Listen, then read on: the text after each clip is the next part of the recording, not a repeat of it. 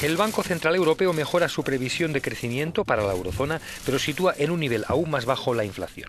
En sus nuevas perspectivas, que incluye 2016, el BCE aumentó en una décima el crecimiento para 2014 al 1,2% y rebajó la inflación al 1%. El presidente Mario Draghi dejó abiertas todas las posibilidades de acción futura.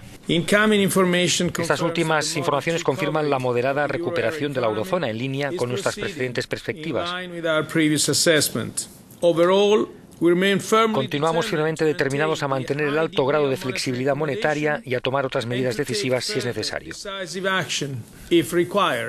Para 2015 la proyección de crecimiento no varía en el 1,5%, mientras que para esta primera proyección a 2016 el avance se sitúa en el 1,8%. Nunca antes el BCE había presentado unas perspectivas a tan largo término.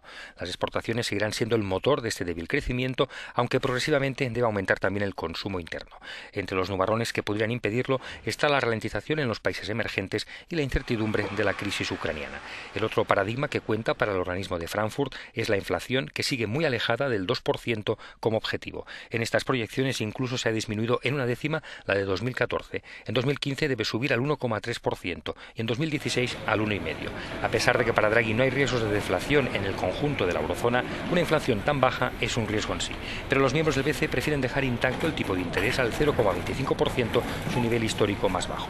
Tampoco aplican de momento nuevas facilidades a los bancos para reactivar el crédito a particulares y empresas.